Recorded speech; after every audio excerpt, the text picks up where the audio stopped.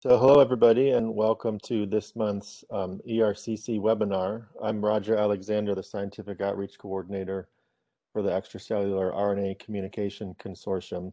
We're in a second phase of the consortium now. The initial phase was focused on understanding the biology of extracellular RNA as well as diagnostic and therapeutic applications.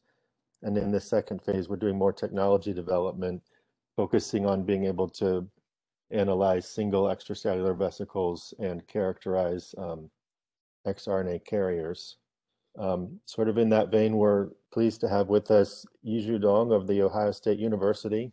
Um, today, he's going to talk to us about nanomaterials and RNA engineering for mRNA therapeutics, genome editing, and cell therapy. Uh, before you start, Yizhu, um, if people have questions throughout the talk, they can put their questions um, in the chat and I'll read those first at the end, and then we'll, I'm sure we'll have time for people to unmute themselves and ask live questions. So usually look look forward to hearing your about your work. Thanks, uh, Roger, for the kind invitation. It's really my great pleasure to share with you some of our recent uh, development of nanomaterials and uh, RNA engineering for various uh, applications.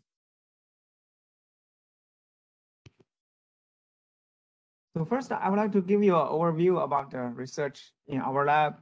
We are focusing on development of technology platforms, which can be applied to diverse diseases.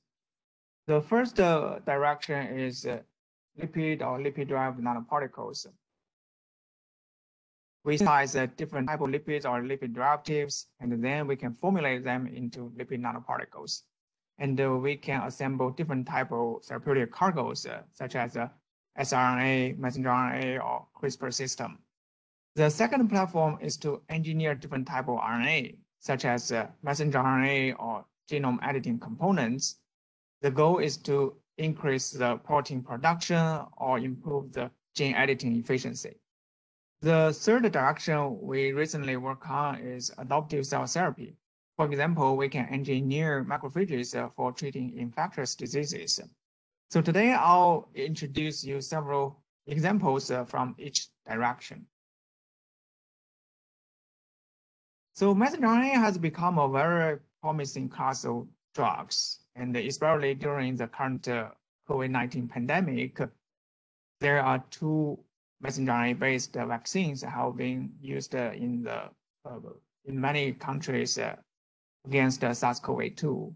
And meanwhile, messenger RNA has been used for many therapeutic indications, uh, such as uh, cancer immunotherapy, protein replacement therapy, and also genome editing.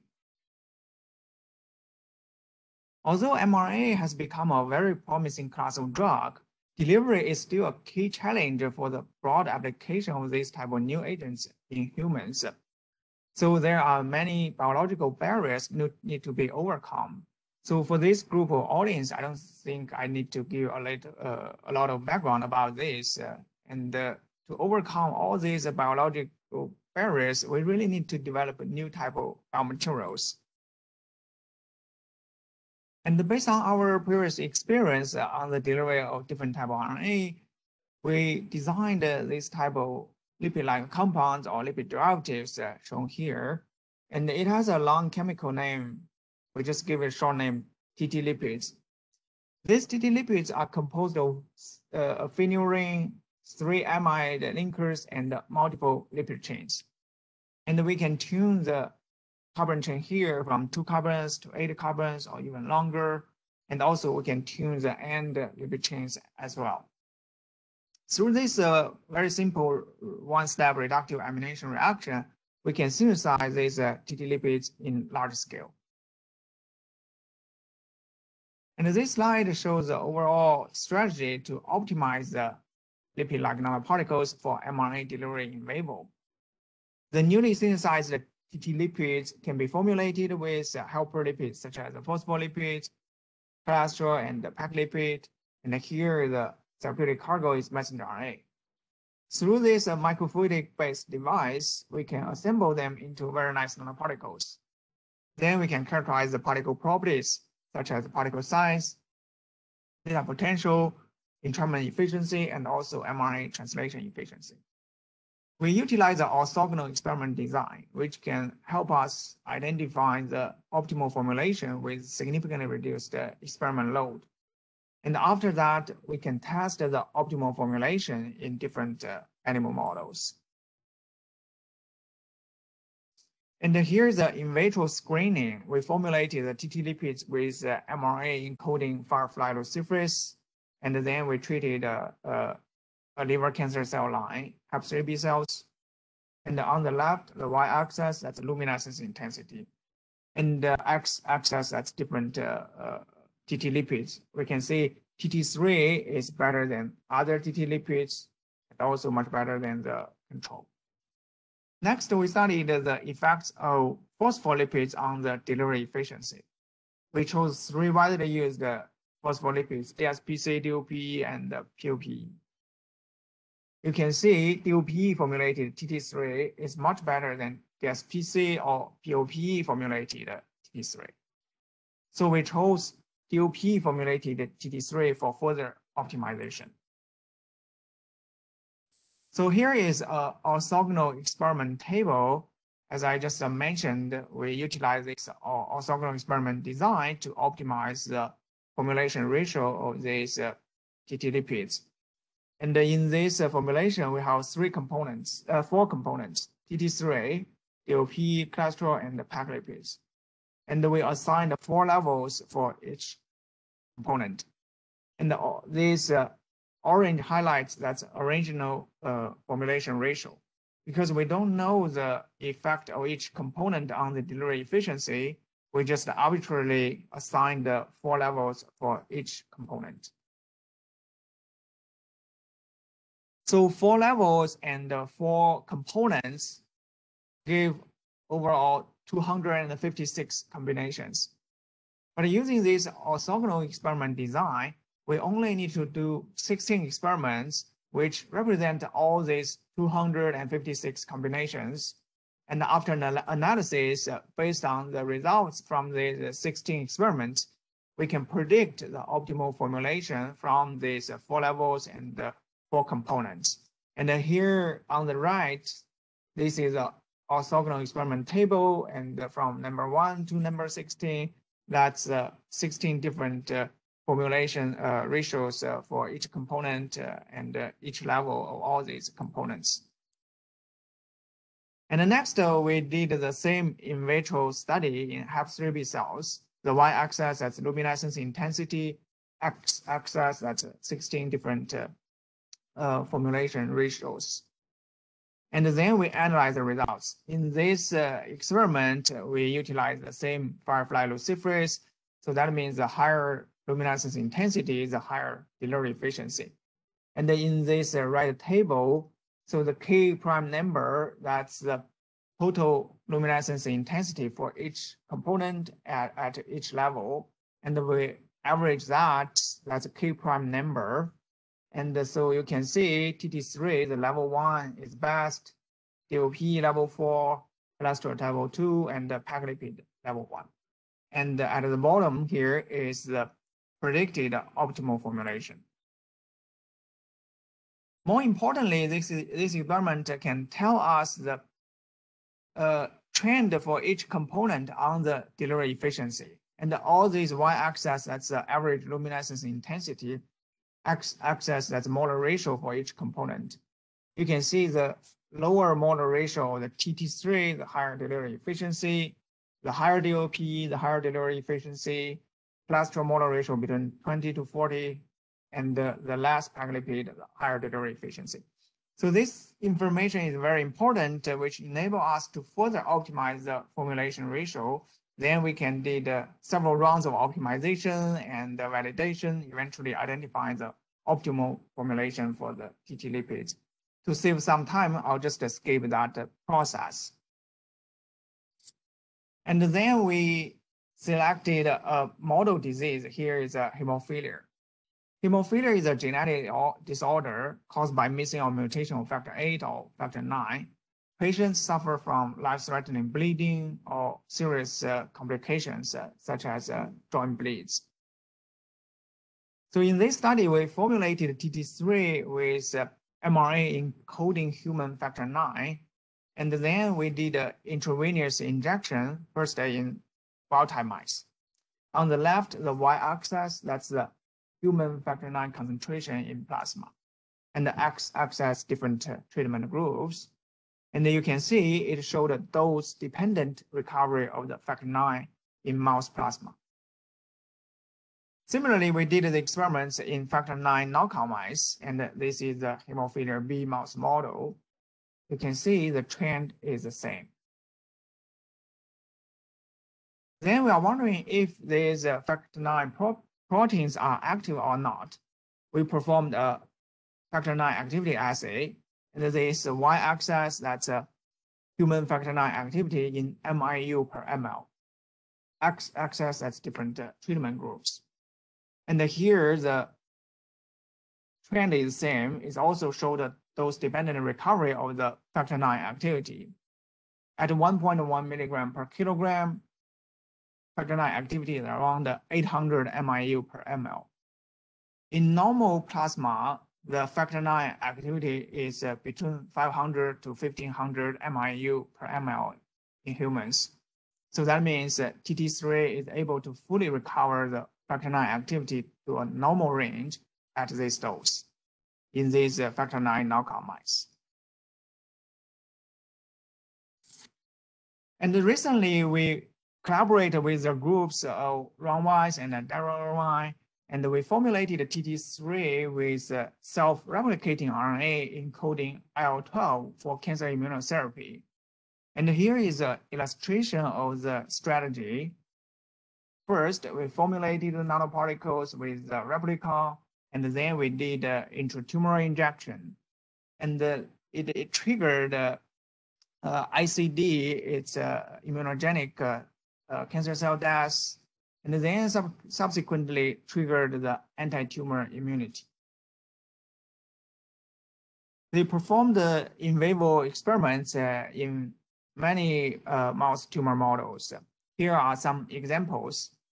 After a single injection of the lipid nanoparticle formulation, you can see in three different uh, mouse tumor models, B16F10, CD26, and the UMR 1.7, this formulation significantly extended the mouse survival. They also performed many maximum action studies, and here is one example. We can see if we knock out MID88 or STING, the therapeutic efficacy is significantly compromised. Meanwhile, we did uh, a lot of chemical modifications of the TT lipids. We installed uh, couple chains, branched ester chains, or linear ester chains on the scaffold, and we produced uh, these uh, functionalized uh, lipid-like compounds. And then we formulated them with uh, mRNA encoding firefly luciferase, and we injected it intravenously in mice and screened their mRNA delivery efficiency in vivo. So on the left, uh, here the y-axis, that's a fold photo increase normalized by TT3, x-axis different uh, FTT lipids. We found that FTT5 is much better than other FTT lipids and also better than TT3. And on the right here is the characterizations of the particle properties. We can see the particle size is around 100 nanometers and the PDI is between 0.1 to 0.3. We also studied the biodegradability of these uh, different lipids. We chose uh, two representative uh, examples. One is uh, FTT lipids with linear ester chain on the right, and the other one is FTT lipids with branched ester chain on the left. You can see both uh, particles showed a very low concentration in, in the uh, mouse plasma after intravenous injection. But in the, uh, in the liver, the lipids with a linear ester chain is cleared very fast. For the other lipids with branched ester chain, the degradation rate is much slower. So we can tune the chemistry of the TT lipids and then adjust the degradation rate of these uh, nanoparticles. Then we collaborate with a group of Dr. Dennis Sabatino at the Children's Hospital Philadelphia. We formulated FTD5 with mRNA encoding factor 8 and then we did the treatment in both wild type mice and uh, hemophilia A mice. And uh, we noticed that both the uh, factor 8 protein and the activity and recovered to almost the normal range of, compared with wild type mice. We also performed a preliminary analysis of the histology uh, from the untreated mice and also the particle treated mice. We found that there's no significant change in these major organs, uh, heart, liver, spleen, lung, and kidney. Then we collaborate uh, with uh, Beam Therapeutics, uh, which is a leading company for base editing. And we formulated FTD5 with mRNA encoding base editor and also guide RNA targeting PCSK9 gene. And on the left, the y-axis, that's a base editing efficiency, A to G, x-axis different doses. It also do the dose-dependent base editing efficiency. And on the right, that is, a, that is a one piece of the deep sequencing results at the dose of 0.125 milligram per kilogram. We can see here the base editing efficiency is still over 50%.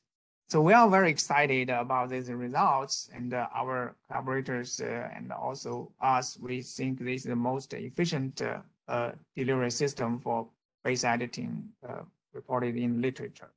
And currently these materials uh, have been licensed by multiple biotech companies and further develop them for different types of diseases.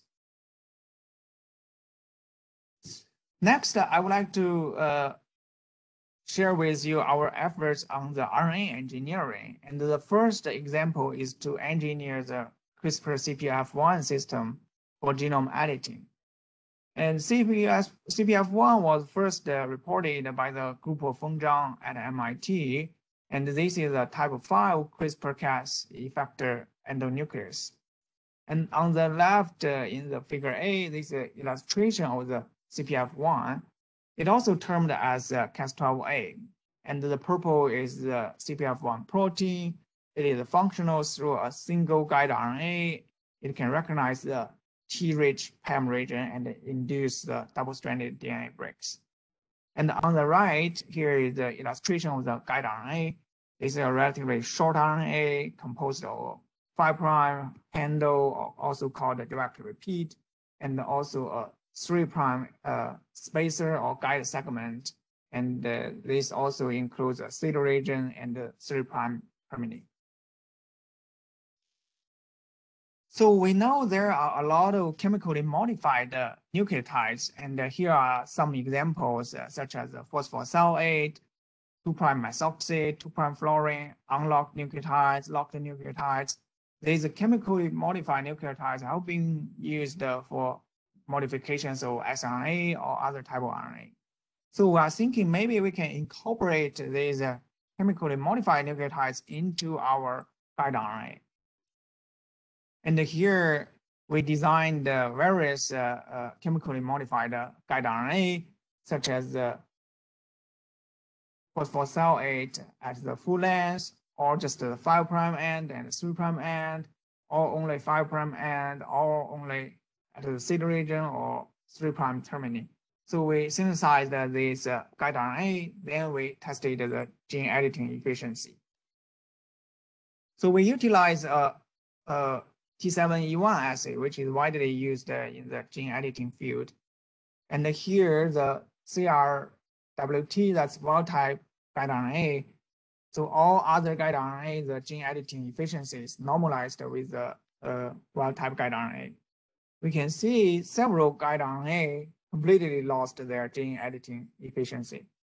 But quite a few of them showed a comparable uh, gene editing efficiency, and particularly one guide RNA with five uh, two prime fluorine modification at the three prime end significantly increased the gene editing efficiency to about 120 to 130 percent.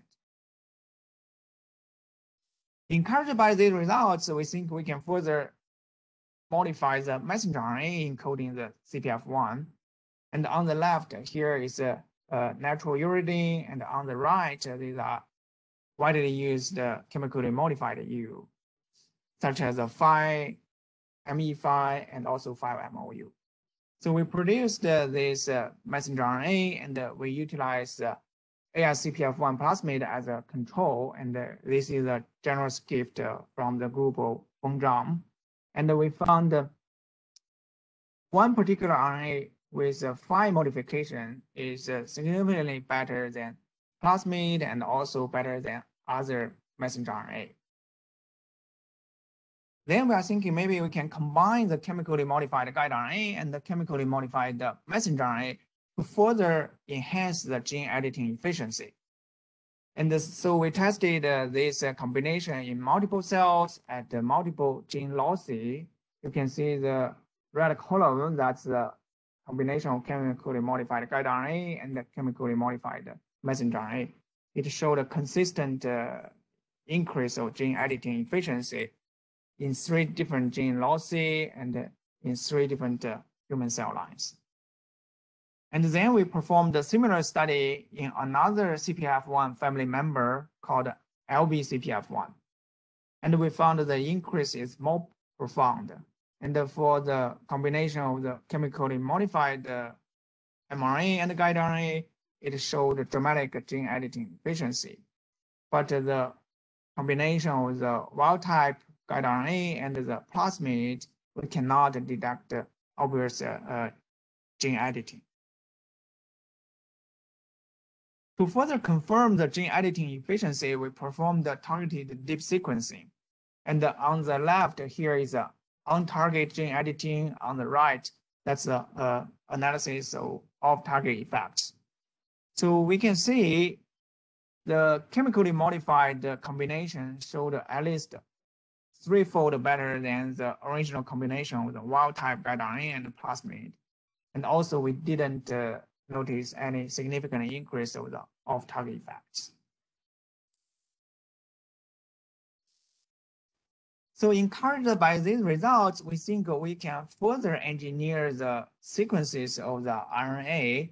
And uh, in this study, we think uh, we already know like the untranslated region of the messenger RNA is very important for the regulation of the mRNA properties.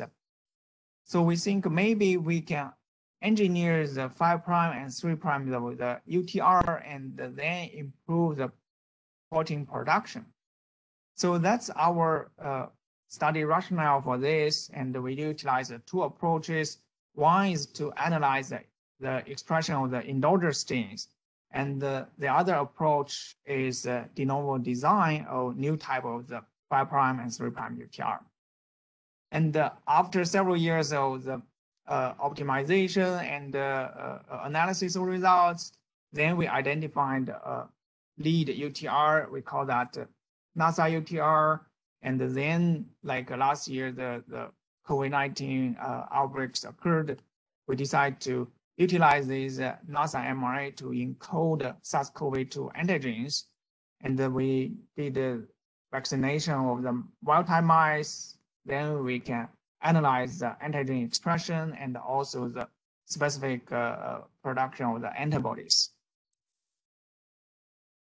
And here's the uh, initiation of the study. We think maybe we can analyze endogenous genes. we found in the literature over 4,000 different genes, and there's a results. We can analyze how many protein copies or amino acids produced from a single copy of messenger RNA.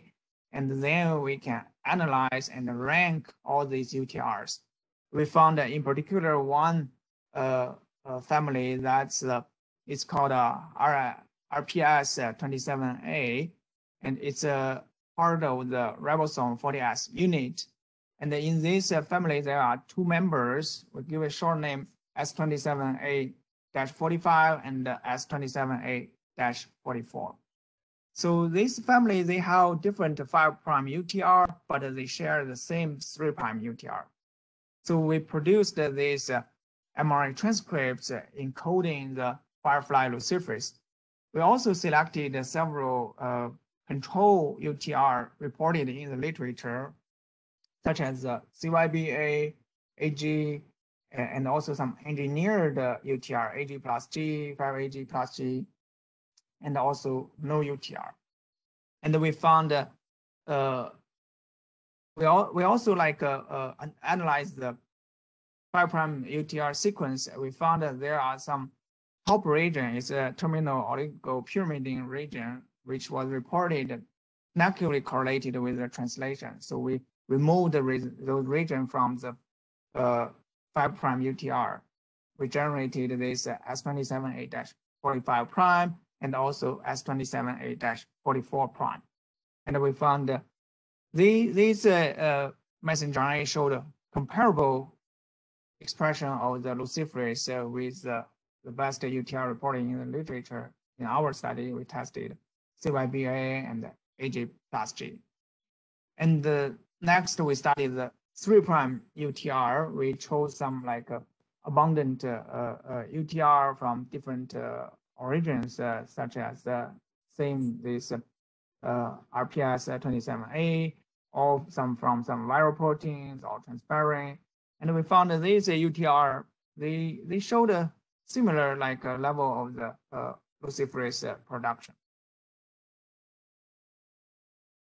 And then we uh, explored our second approach, that's a de novo design. We set up several uh, criteria, such as um, minimum like uh, secondary structures in the 5' UTR, or like only one like a start codon in the sequence AUG and uh, also we uh, uh, incorporate a codec sequence in the 5' UTR. And based on the sequences, we designed the 5' UTR with different lengths from 10 nucleotides to 90 nucleotides. And from the left figure, you can see when we increase the length of the UTR and the uh, protein production efficiency is increased. But uh, if it's too long, in our case, uh, the production is reduced when it's reached uh, 90 nucleotides. And we also know the combination of these AUGC is very important for the translation. So we also studied the different combination of this AUGC, but we keep the length constant as 70 nucleotides. Sorry, so that's the uh, figure B. And the figure C, we try to remove any like uh, microRNA binding site. And uh, uh, we found for this uh, particular uh, UTR NCA-7 and NCA-7D, both are pretty good. 7D is slightly better than 7. So we chose this NCA-7D as our 5' UTR. And then next, we try to optimize the 3' UTR. Uh, in the literature, uh, there are many like uh, functional motif reported, uh, Uh, which can bind uh, with uh, different uh, types of uh, RNA binding proteins. So we identified quite a few sequences. Then we installed the sequences after the 3' UTR. So here are a few examples shown on the left, and we found one particular functional motif we give name R3U. It's much better than other motif and also better than the uh, original like positive control CYBA, AG plus G, or without motif. So after all this uh, optimization process, we selected this uh, NCA-7D as 5' UTR S27A plus this uh, functional motif as a 3' UTR. And we give it a short name like NASA UTR. And then we uh, found there are more and more UTR reported in the literature, and we selected uh, two UTRs, mode 1 and mode 2, as another two sets of positive control.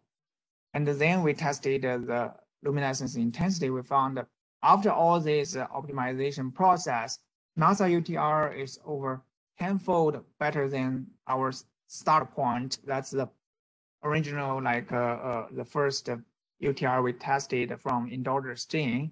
And also it's significantly better than the two UTRs reported in the literature. And the next, we plan to utilize this uh, uh, messenger RNA to encode SARS-CoV-2 antigens. And on the left, here is an illustration of the potential SARS-CoV-2 antigens, including the spike protein, nucleic capsid, membrane protein, envelope protein, and also this uh, receptor binding domain. And we first produced this NASA mRNA encoding the receptor uh, binding domain. We would like to know if it still can increase our protein production. We found that consistently it's better than CYBA and better than the Model 2 reported in the literature. Then we visualized the expression of these uh, SARS-CoV-2 antigens. Uh, for all these five different potential antigens, we can see their like obvious production in vitro. Next, we would like to test the in vivo uh, uh, activities. Uh, we then chose uh, two different uh, delivery vehicles. One is uh, MC3, that is FDA-approved lipid formulation used for siRNA delivery. And also there are quite a lot of preliminary preclinical studies utilize MC3 for delivery of different type of mRNA. And another delivery vehicle is TT3 we just uh, mentioned. And after intramuscular injection, we, we found TT3 is uh, much better than MC3. And then we formulated this uh, lipids with uh, spike mRNA, and uh, we quantified the specific uh, serum IgG. We found TT3 induced over 300-fold higher specific antibodies than the uh, M3 formulated uh, formulation. Next, we compared two different administration routes, intramuscular injection and uh, subcutaneous injection. In our study, we found intramuscular injection is uh, better than subcutaneous injection. Lastly, we did uh, a dose dependency study. We found uh, for both spike mRNA and RBD mRNA. Eh, at high dose, there is a saturation effect. At lower dose, there is dose-dependent production of the serum IgG.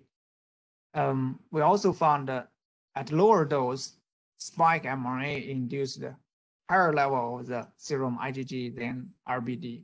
It's also consistent with the literature report.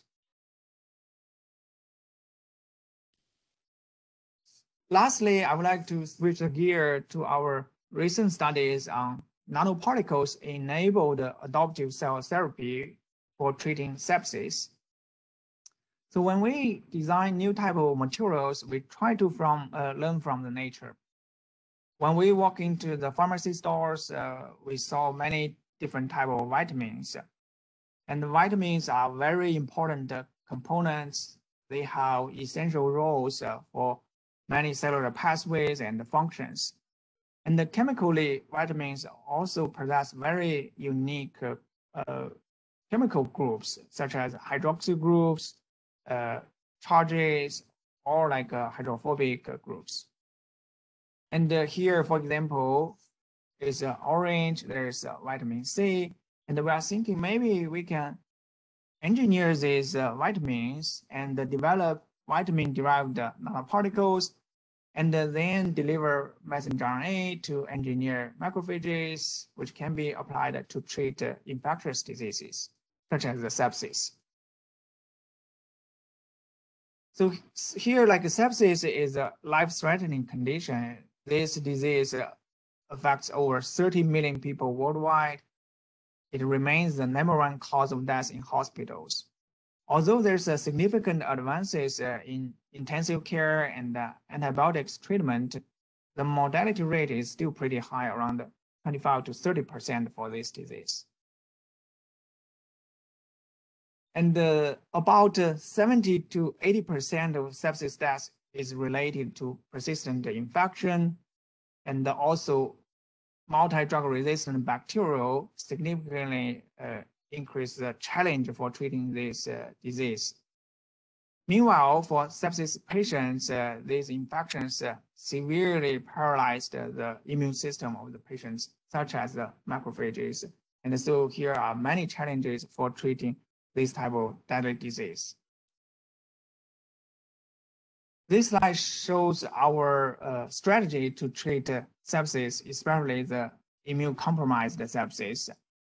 And we are thinking we can produce different type of vitamin-derived lipid nanoparticles, then deliver antimicrobial components into macrophages.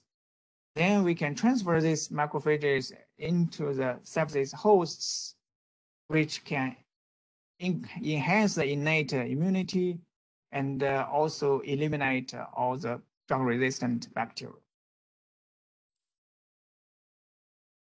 To test our concept, we first synthesized a series of vitamin-derived lipids, and here are some examples, uh, vitamin B3, vitamin C, VD, VE, VH. And uh, we have a amino chain here, which can interact uh, with messenger RNA under acidic conditions. And we performed a similar screening assay, and here is uh, in a macrophage cell line, it is uh, raw 264.7 cells. And from the left figure, you can see vitamin C is much better than other vitamins, also better than lifactamine, this is a commercial, commercially available transfection agent, and also better than electroporation. And we also found that the protein production reached the peak around 12 hours.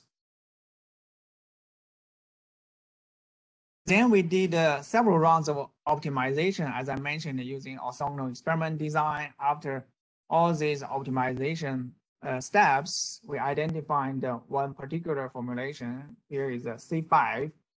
It is over sevenfold better than the original formulation we tested for the vitamin C, and it is over 70 folds better than lifactamine uh, 3000, over 300 folds better than electroporation.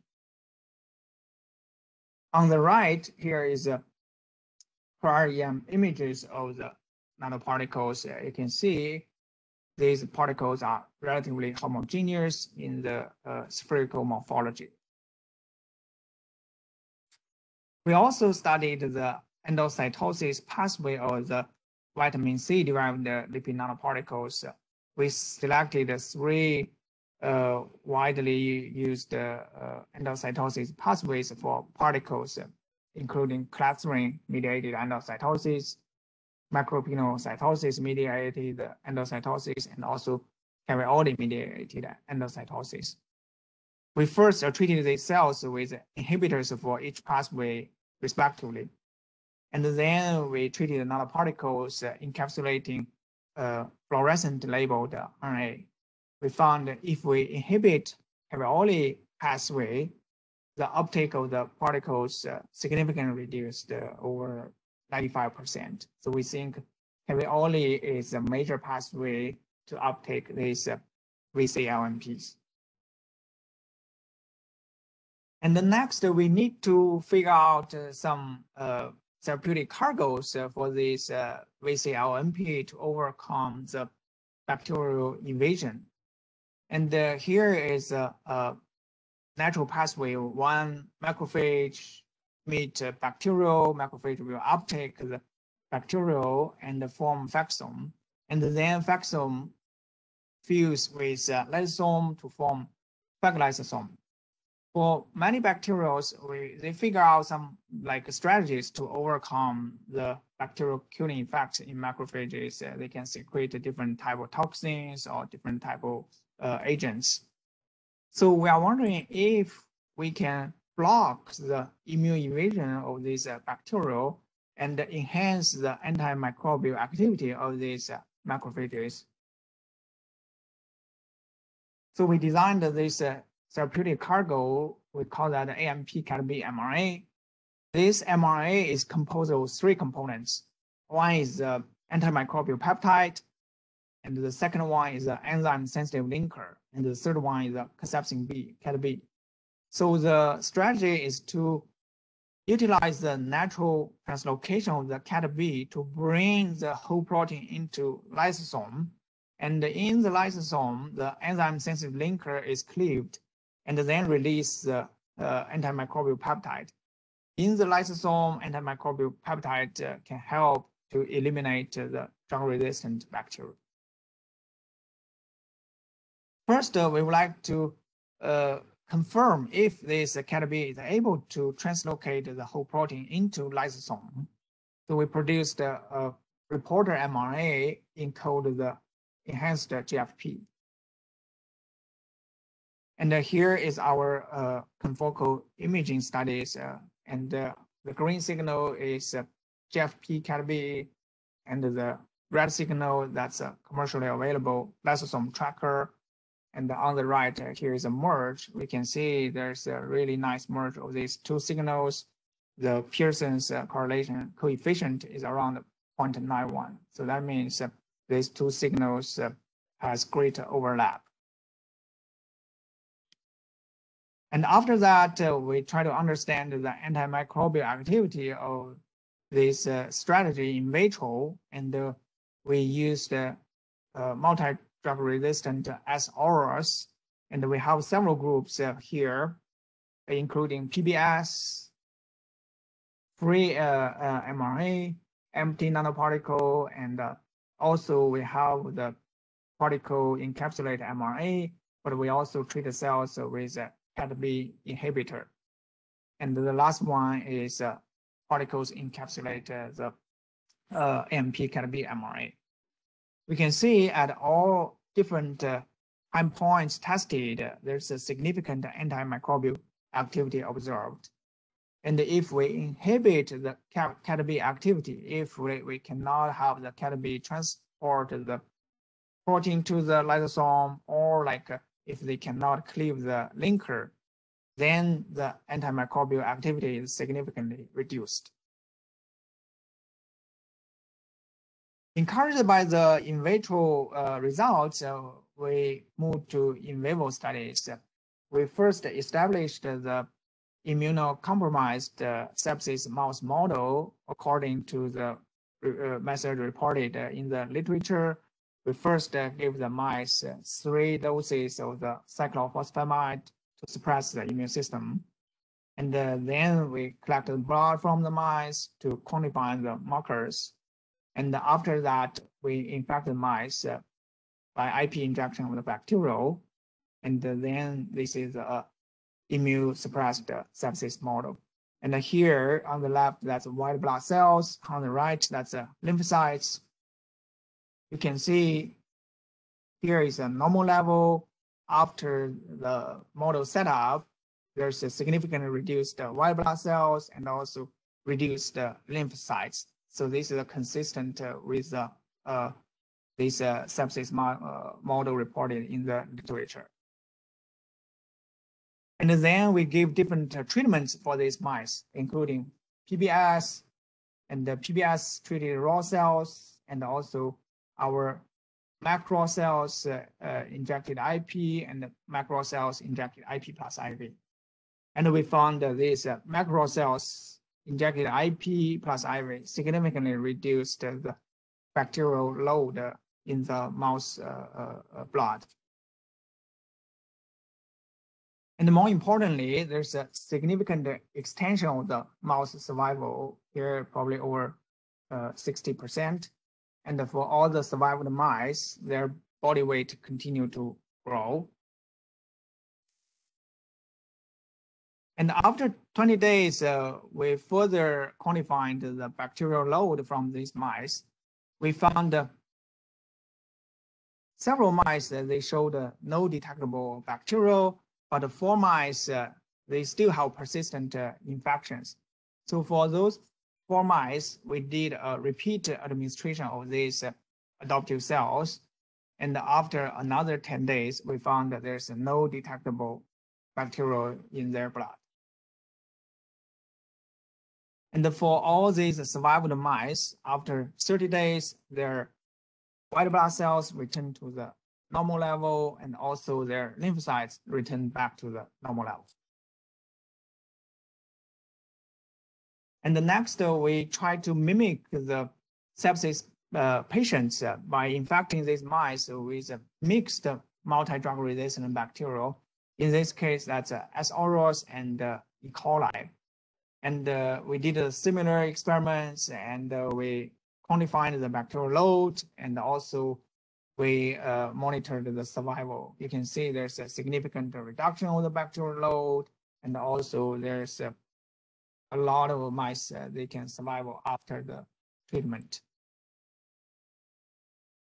Consistently, their body weight uh, continue to increase and these uh, white blood cells, lymphocytes are back to the normal range.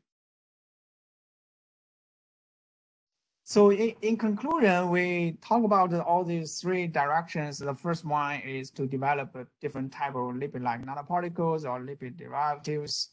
And we showed the proof of concept of delivery of multiple types of mRNA in different uh, disease models, such as uh, hemophilia for gene editing or for uh, cancer treatment. And for the second part, we talk about RNA engineering. We are able to increase the gene editing efficiency at least threefold. Uh, we also developed some like uh, uh, gene editing inhibitors due to the time limit. I didn't show the results here. And uh, for the second part of the RNA engineering, we were able to engineer UTR of the messenger RNA and significantly increase the protein production and uh, we utilize this uh, mRNA to produce uh, mRNA-based uh, vaccines against SARS-CoV-2. And lastly, we talk about uh, adoptive macrophage therapy. We were able to develop vitamin C-derived lipid nanoparticles, which is able to deliver mRNA very efficiently in these uh, macrophages. And this uh, adoptive cell therapy is able to improve the survival rates in septic mice, they were able to clear the bacteria from these mice and uh, restore their body conditions. So for the next uh, five, 10 years, I hope we can integrate our specialties together with uh, other uh, collaborators uh, in several fields, including the biomaterials, RNA engineering, genome editing, immunoengineering, and uh, cell therapy our ultimate goal is really to translate uh, our knowledge and the technology into more effective treatments for the patients in the clinic. Lastly, I would like to acknowledge my lab members. These are a group of talented postdocs, graduate students, undergraduate students, and a few high school students. And thanks our collaborators for their significant contributions for different projects thanks funding agencies supporting our projects as well. Thank you very much for your attention. I would like to take any questions. Thank you. Uh, thanks very, very much, Yizhu. Let's jump into questions. Um, Anna Krichevsky asks about targeting of the LNPs. Anna, do you want to ask that? Um, Hi, uh, sure. So uh, thanks, first of all, for a really great talk. Uh, so, you know, uh, a question is about the distribution of your LNPs and, um, you know, different variants. If, um, what can you tell us about the, uh, you know, the broad versus targeted tissue uh, distribution? If you can expand on this would be really wonderful. Sure. Um, generally, the biodistribution can be tuned by the particle properties. Some particles um, are more preferred to liver, other particles more preferred to spleen or lung or some other like uh, organs. Um, so it's really case by case. For the first part, uh, the particles we tested, uh, it's really great for for the liver liver applications. Uh, and uh, also for some particles are pretty good uh, for intramuscular or other like organs. But generally, I think the particle properties is very important for their eventual like ball distribution and also for like in different organs, there are also several types of the uh, cells. Uh, they can target different cell types. I guess to follow up on that, in your in your cancer immunotherapy um, work, I think you did in situ injection, um, you know, so that the the LNPs are right there. Uh, I'm used to of vesicles having, you know, signaling proteins attached to the surface. It's I need to follow up on your comment about different head groups um, trafficking to different tissues, but I wonder um, if you can if you could fold in um, adding a surface molecule to your LNP creation. Yes. Process. Yeah. Yeah. In fact, uh, we can do that uh, um, very conveniently with a different type of chemistry. So, um, yes, we have some ongoing projects. We can target different type of the cells uh, using their like specific uh, ligands. Um, Zelchka McBride asks how you picked vitamin C, and I'll sort of piggyback on, on that.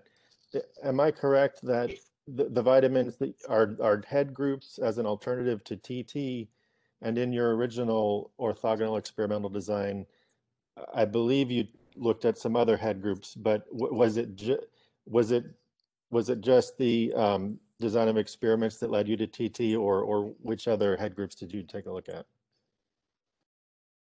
Yeah, we did check check check like different type of the like uh, either head groups or like uh, or core groups that can install lipids around the core groups. Um, and for the for that project, uh, we the rationale is uh, for a lot of cells, uh, re they really need uh, vitamins uh, for different type of their cell functions. So we think maybe we can incorporate these uh, vitamins into the delivery vehicles. So we produced all these uh, vitamin-derived lipids, and then we formulated them and tested in different uh, cell types. And we found the vitamin C is particularly good for uh, delivery in macrophages. Designed all the cargoes and uh, uh, all the studies following that.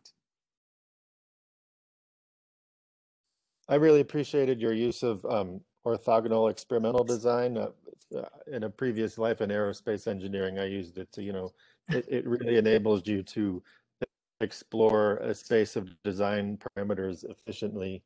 I'm wondering if, um, well, first of all, one specific question. Um, what is the entrapment efficiency parameter that you're optimizing? Is that the RNA getting into the lipid or some kind of lipid targeting uh, to a tissue? What what what is that parameter? Um, oh, so that's the like uh, uh, how much percentage of mRNA in, uh, loaded into the particles.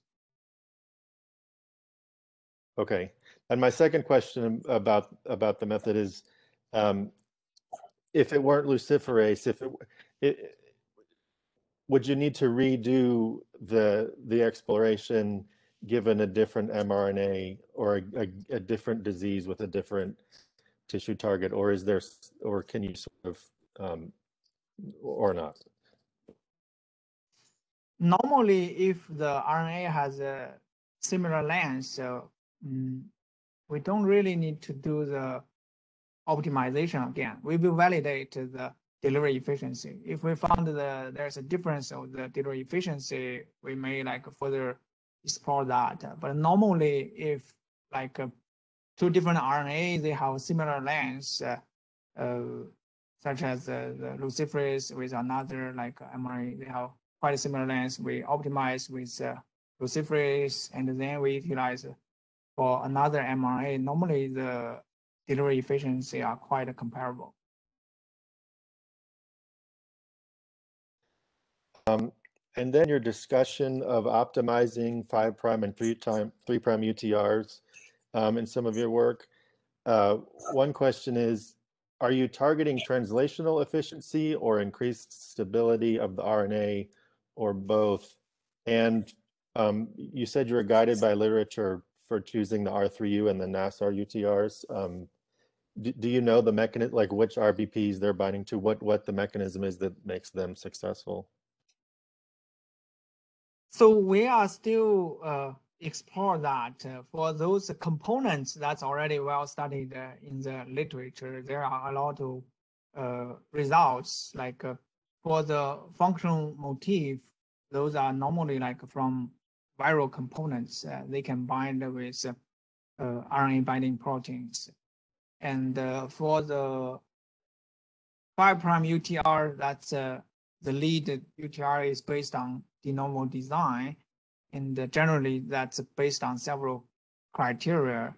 Mm, so we, we, I think it, it, it will, it will be important to have more studies really like uncover like if it's uh, increase the translation efficiency or improve the half-life or stability, those type of things, we need to do more studies uh, to understand that. Thanks very much. Um, other questions?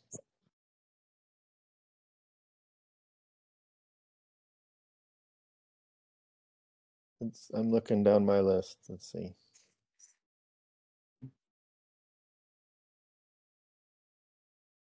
I think, I think I asked all. And, Um, very much. That's quite a lot of work and I, I, it's interesting, the, looks like you're doing a good job getting collaborators to, um, you know, get these things out into the world. So thanks very much. Yeah. Oh, my pleasure. Thank you for having me. Um, I'd like to let everybody know that next month's speaker is going to be um, Stephen Jay from the University of Maryland College Park, and he's going to be talking about um, overcoming obstacles to EV-based therapies. Um, oh, so we do have one more question. Um, do you want to just ask live, or I can read it if not? probably better if you if you read it. But anyway, I'm just I think it's very exciting that that that you found actually a targeting molecule uh, from, from vitamins. So I'm just curious, is there anything else that can be that you identified that's targeting to certain cell types? Yeah, that's a very interesting question. So we are trying to now explore more and more targeting more. into- So we hope we can identify some new molecules that can target different cell populations. Um, yeah, those studies are still ongoing. That's wonderful. Thank you. That's exciting. My pleasure. Thank you. Delivery. the holy grail. exactly. Me too, and Thank you. thanks very much for the talk today. Thank you. Take care. Bye.